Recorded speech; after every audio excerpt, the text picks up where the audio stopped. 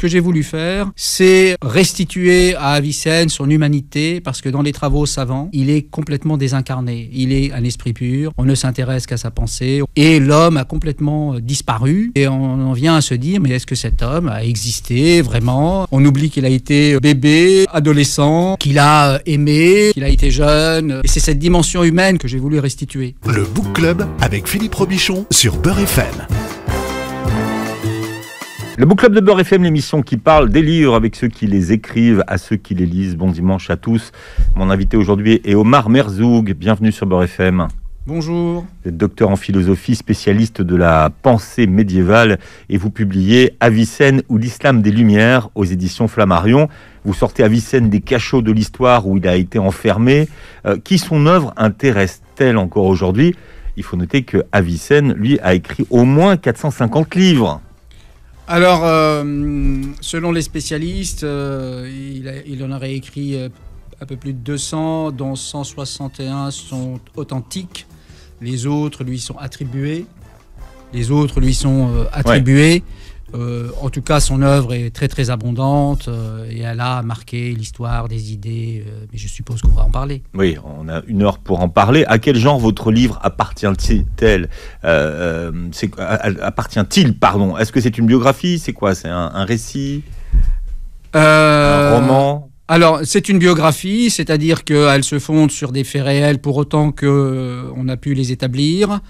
Pour le reste, il y a quelques, déductions, mais ce que j'ai voulu faire, c'est euh, restituer à Avicenne son humanité, parce que dans les travaux savants, il, est complètement désincarné. Il est un esprit pur. On ne s'intéresse qu'à sa pensée. On fait des monographies sur sa pensée, sur quelques concepts, sur quelques livres.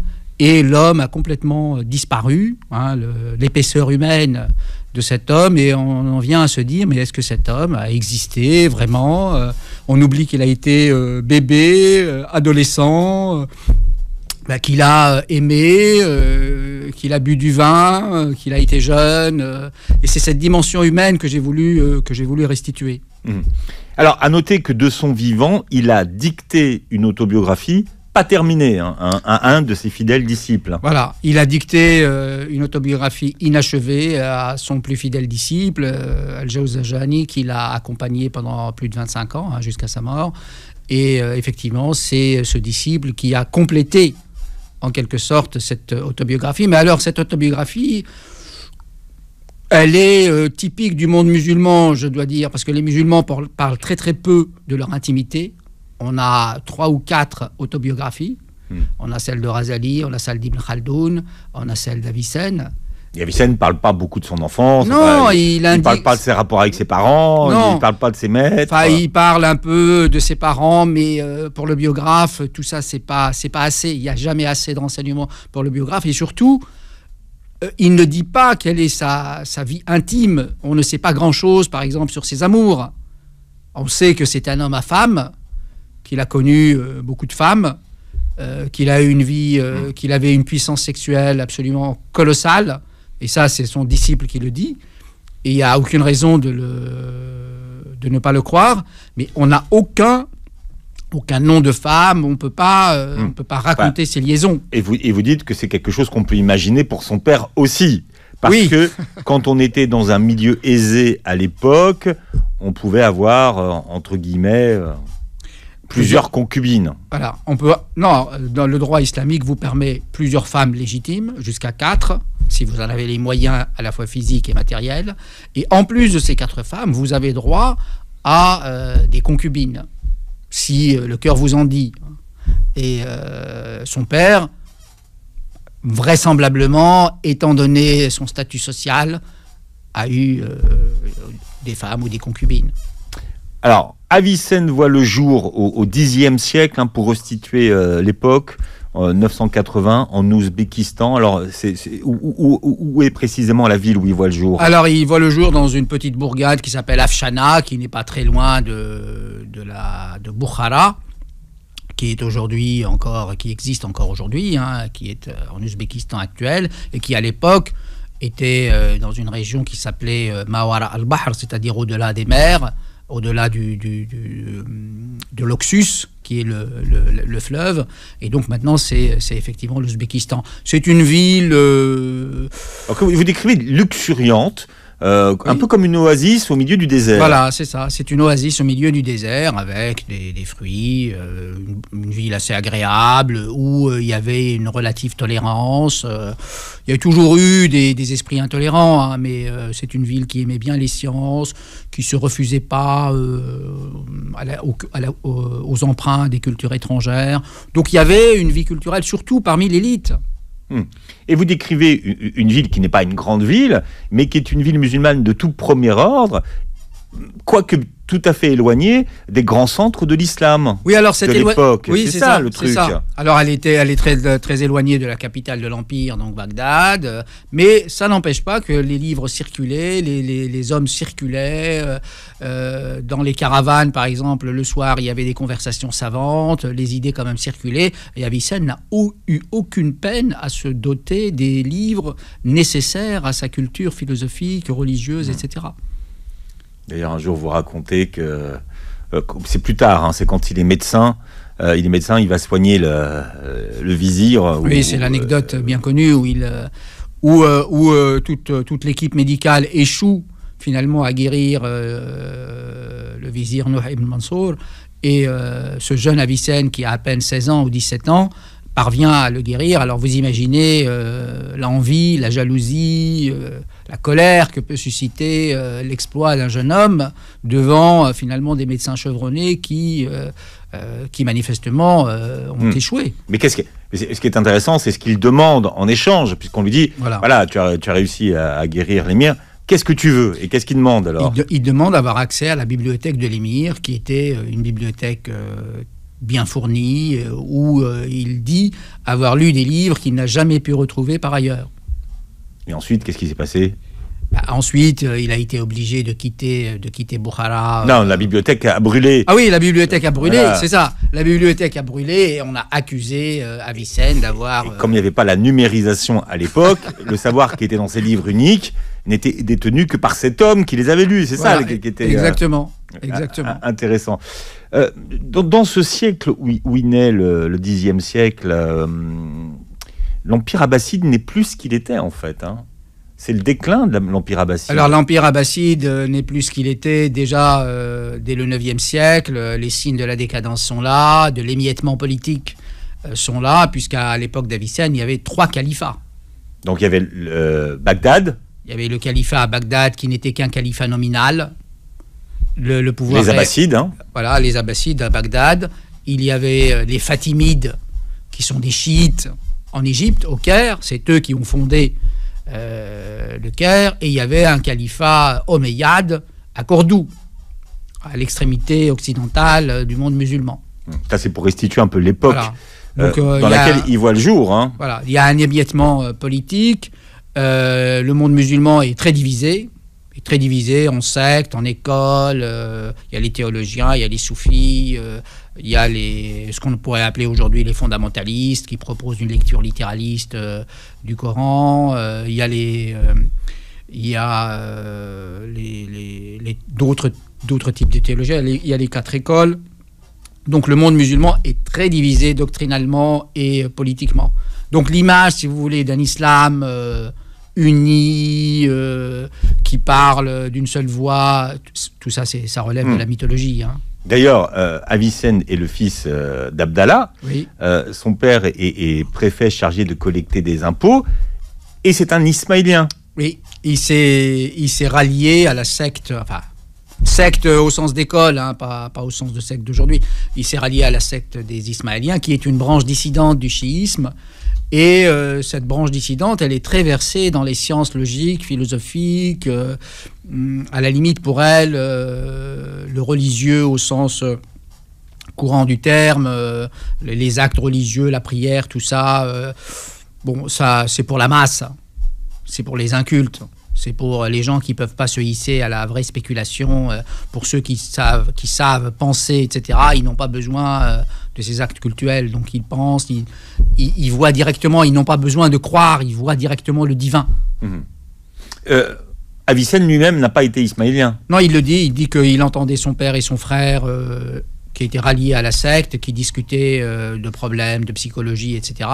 Et lui, il dit, mon âme, je me refusais à ce genre de spéculation. Mais il en a quand même subi l'influence plus tard, puisqu'il a été un grand lecteur de l'encyclopédie de tendance euh, ismaélienne, néoplatonicienne aussi, hein, parce qu'il y a beaucoup de néoplatonisme là-dedans, hein, euh, qui s'appelle Les Frères de la Pureté. hein. c'est une encyclopédie dont on a gardé les textes, on a conservé ces textes, et euh, c'est une, école très philosophique euh, qui cherche à concilier ce qu'on peut concilier de la religion avec la spéculation abstraite.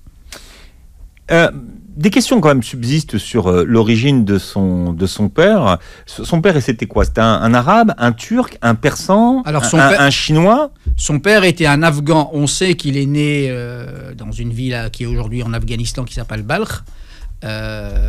Bactrie, son nom grec c'est Bactrie, puisque visiblement les armées d'Alexandre sont allées jusque-là.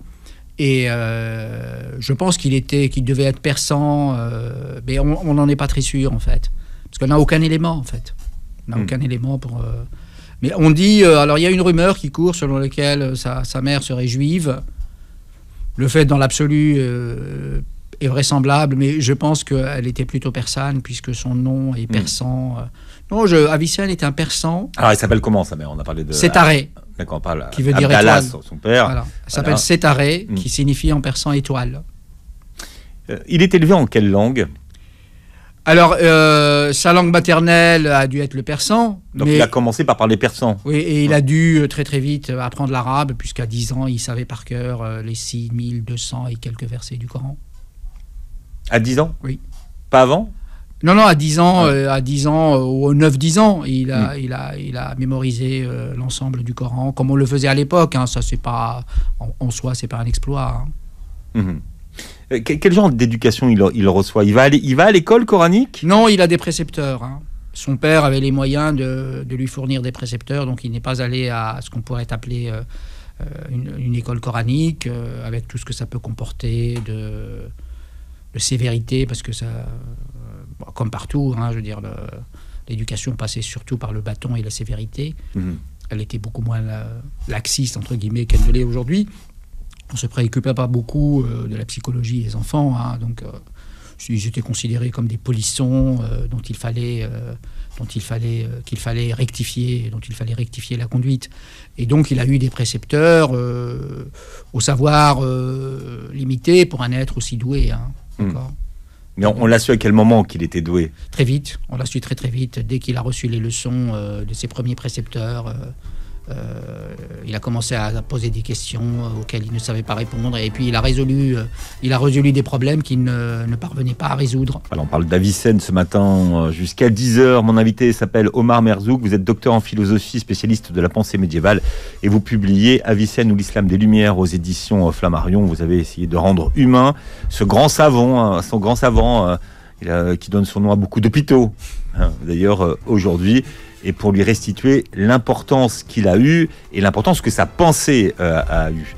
Alors, quels ont été ses premiers mots? Selon la légende, hein. Alors, selon la légende, euh, je crois que ses premiers mots ont été euh, de... hum, Mère demande pardon voilà, à la mère servante. demande pardon à la servante. Elle n'a pas volé ta Elle bague. n'a pas volé ta bague, voilà, c'est ça. Et Alors, donc, D'où vient cette légende en fait? Alors, je ne sais pas si c'est une légende, mais je ne peux pas en certifier l'authenticité, mais quoi qu'il en soit, je la, je la cite parce qu'elle est euh, effectivement, euh, je pense, elle représente assez le personnage qui, pendant toute sa vie, a été euh, soucieux de, de restituer à chacun ce qu'il lui devait avec une honnêteté très, très scrupuleuse. hum, donc il n'a pas commis de plagiat, il a, pas, il a toujours dit quelles étaient ses sources, il a Mm. toujours dit qu'il n'était pas d'accord. Et je pense que ça, euh, c'est emblématique de sa probité intellectuelle. Et ça, c'est très très important. Oui.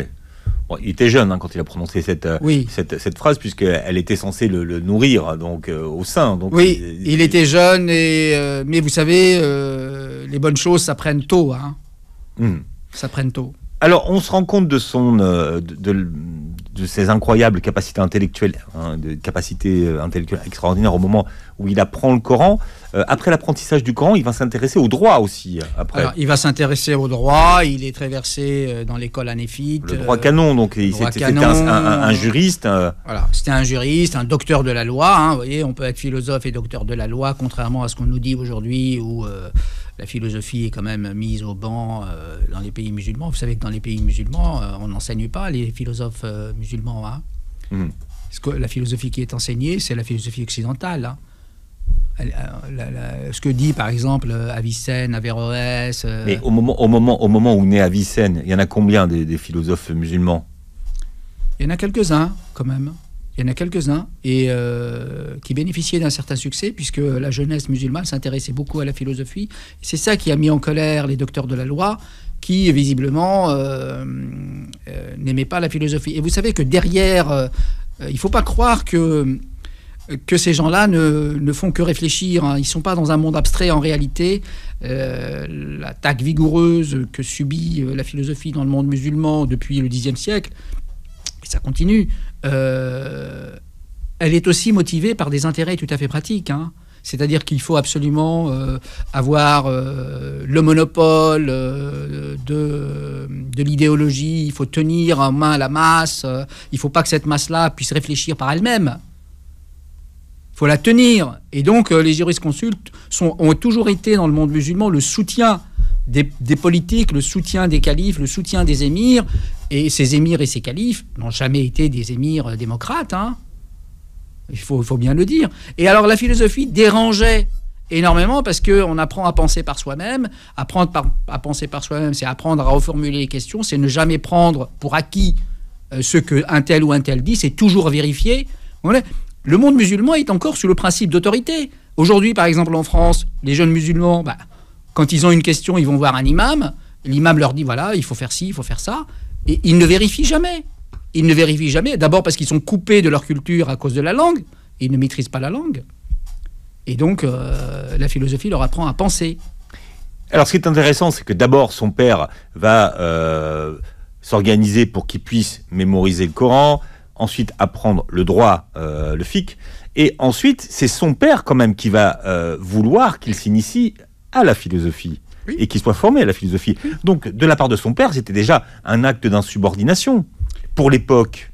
Oui, mais son père était déjà, euh, d'une certaine façon, dans la secte ismaélienne, et donc la secte ismaélienne aimait bien le commerce des idées, elle aimait bien euh, euh, les débats philosophiques, elle avait un certain nombre de thèses, donc il était complètement acquis à la spéculation philosophique. Hmm. Donc c'est normal, quand on est un père, de vouloir initier ses enfants à ce qu'on considère comme bon, meilleur, fécond, éveilleur, etc.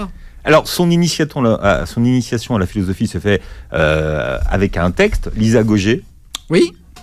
Qu'est-ce qu'ils vont garder de cette... Euh, Alors, l'isagogé ou l'isagogé, c'est un texte euh, de, logique. Euh, et donc, bah, la philosophie, c'est d'abord apprendre à bien penser, apprendre à faire des déductions. Et, puis, c'était le texte quand même canonique de l'époque par lequel tout le monde s'initiait à la philosophie. Hein. Et donc, il va très vite maîtriser tout ça. Il va résoudre un certain nombre de questions que son maître n'avait pas résolues. Et puis après, il va passer au gros... Mmh au, gros, euh, au gros plat de résistance qui va, évidemment, c'est le cas de le dire, lui opposer une résistance et qui est la métaphysique euh, d'Aristote. D'Aristote, qui restera le texte, le seul texte, dit-on, dans sa vie, qui lui a résisté et euh, qui lui a posé beaucoup de questions. Alors, il dit qu'il l'a lu 40 fois sans jamais rien comprendre. Alors, il faut quand même dire que la métaphysique, c'est un texte extrêmement difficile. Même aujourd'hui encore, et que à l'époque, évidemment, il était pas aussi bien traduit qu'aujourd'hui, euh, qui avait pas mal de, termes grecs. Euh, donc euh, c'est un texte décousu. il y avait pas mal de, paradoxes, peut-être de contradictions, qui étaient vues comme des contradictions. Et c'était des notes de cours. Hein, la métaphysique d'Aristote, c'est les notes de cours d'Aristote. Donc décousu. Et puis Avicenne ne comprenait pas comment un, un aussi grand esprit pouvait livrer un texte aussi désordonné, décousu. Euh, et, c'est là qu'il va euh, trouver son chemin de Damas, en quelque sorte. Euh, il va tomber sur un texte de, de son prédécesseur, Farabi. Al-Farabi, Alors, peut-être aussi, lui aussi, il faudrait consacrer des, biographies à Al-Farabi. Hein. Lui aussi, il faut lui restituer l'importance qu'il avait à l'époque. Alors, Al-Farabi est très, très important, mais euh, pour un biographe, ça pose un problème parce que sa vie n'est pas assez aventureuse ni mouvementée. C'est ça le problème. C'est un de ses mentors, Al-Farabi, finalement Oui, c'est un de ses mentors. On peut dire ça Aujourd'hui, on dirait mentor, mais... C'est ça, c'est un de ses mentors. Euh, il, a, il a beaucoup lu Al-Farabi, il s'en est beaucoup inspiré. Euh, et puis, il a évidemment euh, imprimé sa marque originale aux idées qu'il avait reçues de Farabi. mais Farabi, c'est un, un très grand philosophe musulman. Musulman, oui, voilà. Chiite. Hein. il était chiite, Farabi, très, très vraisemblablement. Mais euh, bon, les philosophes ne, se situent pas tellement par rapport au chiisme, au sunnisme, ils sont un peu au-dessus. Hein. Ils sont un peu au-dessus. Il a 12 ans, donc Avicenne, euh, quand il domine presque toutes les sciences qui devaient être maîtrisées à l'époque. Et donc à 12 ans, puisqu'il s'ennuie, il se tourne vers la médecine. Qui est une science facile, dit-il. Oui, mais il n'y a pas de fac de médecine hein, à l'époque, euh, il apprend dans les livres. Alors il apprend dans les livres et puis il rencontre un médecin chrétien qui lui sert là aussi de mentor, euh, qui s'appelle euh, Al-Masihi, et euh, qui va l'initier aux, arcanes, aux secrets de l'art médical. Alors il apprend vite, hein, puisque dès 16 ans, il peut déjà soigner. donc il, connaît son Hippocrate et son Galien, qui sont les deux grands maîtres de, la médecine antique. il apprend donc, il les connaît par cœur. Et donc, euh, il ajoute évidemment euh, son expérience clinique au, texte de ses deux grands maîtres. Et c'est là qu'il devient un très grand, un très grand médecin. Alors, hmm. il faut dire qu'en Orient. Alors, il y a un point d'interrogation quand même. Tout le monde dit qu'il était bien meilleur, euh, bien meilleur théoricien que praticien. Alors, ah, ça dépend. En Orient, il est considéré comme bien meilleur praticien que philosophe. Que philosophe, oui. Et en Occident, c'est plutôt l'inverse. En Occident hmm. chrétien, entre guillemets.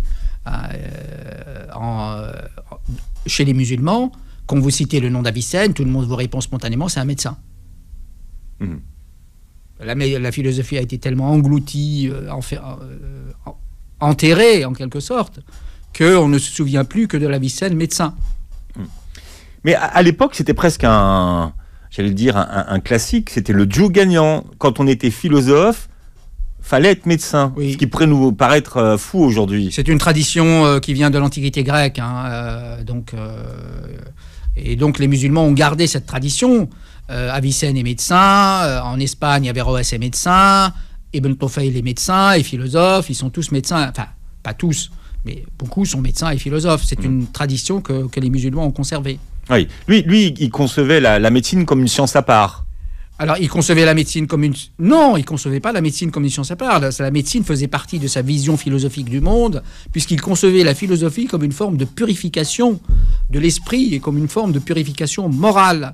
Autant la médecine vous débarrasse de vos impuretés, euh, de vos microbes, etc., autant la philosophie vous débarrasse de vos vices de pensée, de vos erreurs, euh, de vos fausses déductions, de vos sophismes, etc. Qu'est-ce que, la médecine lui doit? Qu'est-ce qu'il a apporté, lui, à la médecine? Est-ce qu'il a apporté quelque chose de particulier à Vicenne Alors, euh, oui, il a apporté, par exemple, sur les questions de prophylaxie, euh, euh, d'hygiène, il a des contributions très importantes. c'est, le, c'est le premier, ou l'un des premiers, des tout premiers, à avoir décrit une maladie psychosomatique. C'est l'épisode fameux du jeune amoureux, là, qui est malade et qui dépérit. Et euh, tout le monde, effectivement, est très très inquiet, sa famille est, très très inquiète, et on ne sait pas pourquoi ce jeune homme dépérit.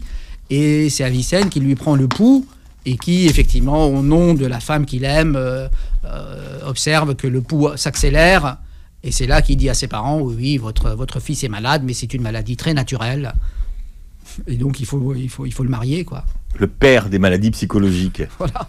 Donc euh, psychosomatiques. Psychosomatiques. Et surtout, euh, il a hum, son livre Le canon de la médecine, qui recense plus de 700 remèdes et médicaments. Euh, c'est quand même très, très, très, très précieux, qui a été enseigné pendant plusieurs siècles hmm. dans les universités occidentales. Alors, il l'a emporté dans le monde musulman et même ailleurs sur d'autres traités qui sont aussi bien faits comme euh, le Hawi, le continent d'Al-Razi, etc., il les a dépassés. Pourquoi? Parce qu'il était fait à des fins pédagogiques. Oui, et vous dites qu'à l'époque, au 15e et au 16e siècle, c'était un des livres les plus vendus après la Bible. Oui, et ben, euh, 36 éditions. hein. Et 36 éditions euh, entre sa parution et, et, euh, et la modernité, quoi. Après la Renaissance, Mm. jusqu'au XVIe siècle, il est, il est encore édité, hein, euh, et même plus tard. Quand- quand- quand- alors, en arabe, c'est quoi le titre exact du Al-Qanoun. Al-Qanoun fait tib. Et donc, euh, Al-Qanoun, en fait, c'est un mot grec que les Arabes ont repris. Hmm. Alors, euh, en grec, Qanoun veut dire, veut dire la règle. Donc, c'est les règles de l'art médical. Voilà, on visite le, le 10e siècle ce matin à l'occasion de, de cette histoire d'Avicenne qu'on vous raconte jusqu'à 13h. Omar Merzoug est mon invité. Omar, je rappelle que vous publiez Avicenne ou l'islam des Lumières chez Flammarion. Alors effectivement, avec, avec le temps, l'image d'Avicenne a quand même été beaucoup modifiée, a beaucoup changé. Et aimée ou détestée, hein, d'ailleurs. Oui, alors, euh, en Orient, évidemment, euh, la philosophie comme exercice libre de la pensée euh, a très vite cédé le pas devant une offensive euh, euh, religieuse littéraliste. Et, en Occident aussi, il a eu quelques, adversaires. hein. donc, par exemple, Ibn Taymiyyah, qui est aujourd'hui considéré comme l'un des grands, le seul maître de l'islam, dit que, au fond, il dit que Avicenne est un athée qui a bu le lait de l'athéisme au sein de sa famille de chiites, euh, de chiites ésotériques Mm. ou ésotéristes. Ah, c'est sa formule. Alors qu'on le voit dans votre livre, euh, c'est quelqu'un dès qu'il a une question à se poser, il va faire la prière. Enfin, vous voyez, C'est quelqu'un- Il, pratique, il- Oui. il, pratique l'islam. Il a été euh, élevé dans une famille musulmane. Alors, euh, Avicenne est musulman. Il, il dit lui-même si moi je ne suis pas considéré comme croyant et musulman, alors personne ne l'est. Il a cette formule qui est claire. D'accord? Et donc, euh, l'exclure. euh, je ne- vous savez, en islam, personne ne peut exclure personne de la foi. La foi, c'est quelque chose de personnel, d'intime. Personne ne peut sonder euh, les âmes, les cœurs et les reins. Et donc, des gens qui se, qui s'automandatent en quelque sorte, qui s'autoproclament excommuniateurs, ça, c'est quand même quelque chose d'assez effrayant. Mais il a été excommunié par Al-Razali, par exemple. Alors, alors Al-Razali, il outrepasse ses prérogatives en disant qu'Avicenne euh, est, un, est un athée, etc. Mais Razali lui-même a été accusé d'impiété. Ibn Taymiyyah aussi a été excommunié. Hmm. Qui a excommunié tout le monde, il a été excommunié, enfin, etc. quoi. Mais donc cette idée euh, où on l'accuse d'être euh, un doctrinaire de l'athéisme, Oui. ça tient pas debout. Ça tient pas debout. Ça ne tient, ça n'a aucune espèce de, de fondement. On a même parlé de panthéisme. Oui, Alors le, Alors- pan- le panthéisme, qu'est-ce que c'est? Alors, le panthéisme, c'est croire que Dieu et, la- et le monde, c'est la même chose. Dieu et la nature, c'est la même chose. Voilà, Dieu, c'est. c'est- Alors, il y a deux formes de panthéisme. Soit on naturalise Dieu, soit euh, on, on- on éternise en quelque sorte la nature. D'accord? Alors, Avicenne, Averroès, Farabi, tous ont été accusés d'athéisme. Si vous dites qu'ils sont athées, ça n'a de sens que pour une version littéraliste, anthropomorphiste. Comprenez Ce sont des gens qui vous disent Dieu a une main. Vous savez, c'est écrit. Par exemple, vous avez un verset qui dit. La main de Dieu est au-dessus de leurs mains. Mais la main ici, il ne faut pas l'entendre comme, euh, comme main au sens physique. Il faut l'interpréter comme autant, là, c'est le pouvoir de Dieu qui est au-dessus du pouvoir des êtres humains. Sinon, on, s- on- on est, euh, on est dans des contradictions absolument insurmontables, et donc ça ne sert pas à la cause de l'islam. Ça, c'est les versions littéralistes. Alors, si vous êtes dans une version littéraliste à la Ibn Taymiyyah, alors évidemment, Avicenne, tout ça- tous ces gens-là sont des athées. Mais ça ne tient pas. Alors c'est un homme de, de- de savoir. Qu'est-ce qu'on disait de son savoir? On l'appelait comment? C'était quoi son surnom? Cheikh al-Raïs, c'est-à-dire le maître des maîtres. Le maître des savants, le prince des savants. Le voilà, on peut. C'est une C'est traduction une des traductions qu'on qu'on beaucoup trouve. hein. plus élégante, oui, Ouais, le prince des savants. savants. Le prince des Euh, savants. formé bon, à la médecine, à la physique, à la métaphysique, on en parlait tout à l'heure, à l'astronomie, euh, à l'alchimie, à la psychologie. Alors la psychologie à l'époque, euh, ça, ça, c'est- c'est- ça consistait en quoi la La psychologie, son psychologie, époque au c'est une, partie, siècle? c'est une partie de la physique à l'époque. La psychologie, c'est une partie de la physique qui euh, s'intéressait au rapport du corps et de l'âme et qui considérait que l'âme, euh, bah, c'est une partie, euh, enfin une partie euh, de l'âme était, euh, était effectivement physique. Il y a une âme corporelle, mais il y a aussi une âme incorporelle, etc. Et donc, en fait, Avicenne, c'est un très grand érudit et je ne crois pas qu'il y ait dans l'histoire, dans toute l'histoire de l'islam, quelqu'un qui puisse avoir ces compétences-là. Alors il était poète aussi. Il était poète. Et alors contrairement à beaucoup de gens, lui, il est, il est allé au pouvoir. Il n'a pas refusé d'être un homme d'État. Voilà. Il a, on lui a proposé le vizirat. Et euh, dans la tradition platonicienne, l'idéal du philosophe, c'est d'exercer les responsabilités du pouvoir.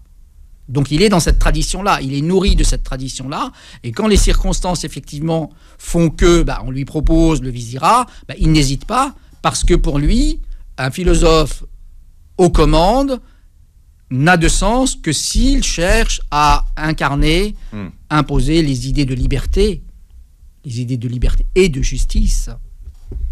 On l'appelait l'encyclopédie, l'encyclopédie Ah oui, vivante. C'est Ouais. une encyclopédie vivante, assurément, puisque, vous savez, il a écrit ses livres euh, dans, une, dans une situation d'instabilité complète. Il était toujours par monts et par vaux. Il a été obligé de fuir constamment des gens qui voulaient l'avoir à sa solde, comme le fameux Mahmoud le Ghaznevide. Euh, il voulait pas servir des potentats et il a essayé de se compromettre le moins possible avec des émirs tout en conservant sa liberté de philosophe, c'est-à-dire quelqu'un qui effectivement est à la fois un savant, un érudit, euh, euh, un logicien, un métaphysicien, un médecin, euh, et dans toutes, ces, dans toutes ces disciplines, il a commis des œuvres très importantes. Le Shifa, qui est sur sa grande encyclopédie, Alors c'est quoi C'est Kitab al-Shifa? Kitab al-Shifa, le Ouais. livre de la guérison. Voilà, l'idée que Donc il y a- il y a l'encyclopédie donc euh, de médecine dont on parlait tout à l'heure, le canon, le canon, Voilà. et ensuite il y a le Shifa. le livre de la guérison. Il appelle son grand livre de philosophie le livre de la guérison. Donc ça confirme l'idée que pour lui, la philosophie, c'est un exercice de purification. hein. Et c'est dix volumes dans l'édition du Caire, dix gros volumes, qui, heureusement, a été conservé, parce que beaucoup de ces textes ont été perdus. hein. Mhm. Dans le sac disparant euh, de 1036, 35-36, bah, beaucoup d'œuvres ont disparu. Il y a une grande encyclopédie qu'il avait rédigée qui avait disparu. hein. Aujourd'hui, ça se lit encore bien? Alors aujourd'hui, euh, non, parce qu'on est dans une époque euh, de, de domination musulmane. Quand vous interrogez les jeunes musulmans aujourd'hui ou les musulmans lettrés, ils, ils connaissent bien les grands, euh, les, grands, euh, les grands savants religieux. Mais Al-Khwarizmi, le maître de l'algèbre, Omar Khayyam, l'homme qui a résolu des équations euh, du troisième degré, euh, Ibn al-Haytham, le maître de l'optique, connaissent pas. Connaissent pas. Mais euh, ils vont connaître euh, l'imam Malik, ils vont connaître l'imam Ibn Hanbal, ils vont ça, ils, enfin, ils ne les lisent pas, hein, mais ils en ont entendu parler. Qu'est-ce que vous vous appelez euh, l'avicénisme Ça existe vraiment ou, ou pas? Ou c'est un, L'avicénisme, c'est ce que un néologisme? L'avicénisme, c'est ce que Avicenne a ajouté à Aristote et à Plotin. Mhm. C'est ça l'avicénisme.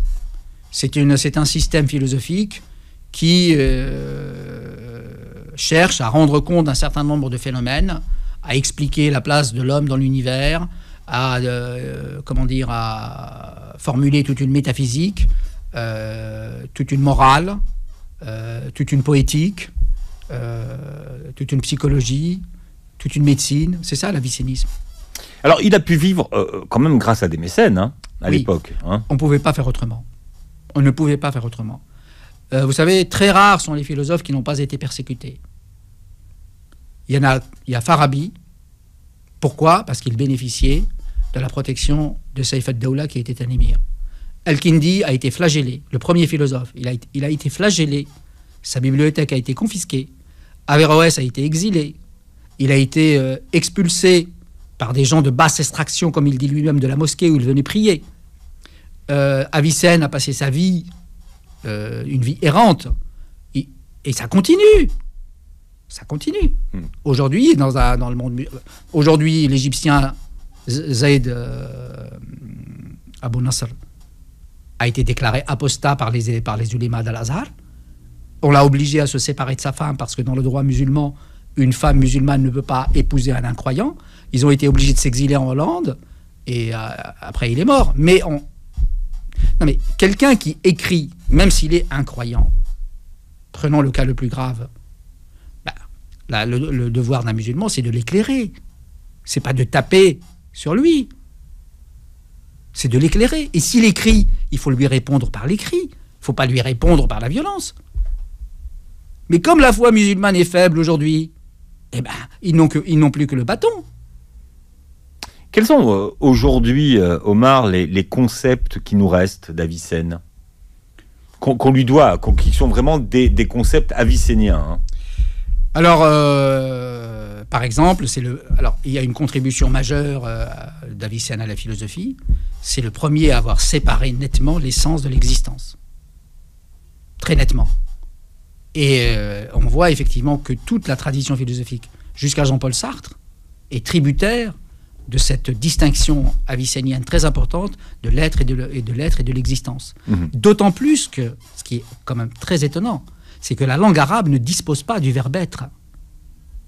Lui, il écrit en arabe, il n'écrit pas en persan. Enfin, il a écrit quelques livres en persan, mais il réfléchit en arabe. Et en arabe, il n'y a pas de verbe être, au sens grec du terme. Et malgré cette absence de verbe être, il a réussi, ce qui est un exploit, à séparer, à distinguer scrupuleusement Mhm. l'essence de l'existence. Où meurt-il?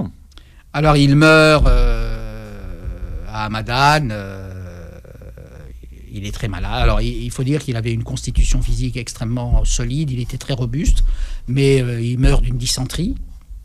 Et euh, là aussi, il y a une légende que j'ai rappelée, la légende des flacons, etc., qui est assez savoureuse, qui montre à quel point euh, il avait une réputation euh, de génie de la médecine. euh, Ah, Allez-y sur la légende des flacons. ah Bah, euh, avant de mourir, il, il- il confie à un de ses, à étudiants ou à un de ses disciples le soin de, effectivement, de concocter une, une formule qui est censée le ramener à la vie. Et effectivement, donc le disciple commence par, euh, par observer euh, toutes, toutes les règles, etc., et par lui administrer les fioles. Et euh, il voit effectivement la vie. Euh, il voit Avicenne renaître, euh, le Mm. corps reprendre ses couleurs, le visage. Et il est tellement ému que la dernière fiole bah, lui tombe des mains, il se casse. Et donc, Celle, Avicenne. celle qui avait la clé, la dernière, la, la dernière fiole. c'est ça, la dernière fiole. Voilà. Bon, la suite est dans votre livre. C'est passionnant puisque vous restituez un homme à travers son époque aussi, hein, une époque qu'on connaît mal. Avicenne ou l'islam des Lumières, c'est le titre de votre livre aux éditions Flammarion. Merci d'avoir été avec nous ce matin. Merci vous vous. réécoutez l'émission en podcast euh, à votre convenance quand vous voulez. Et puis vous regardez la vidéo sur la chaîne YouTube de Beurre FM. Très bon dimanche.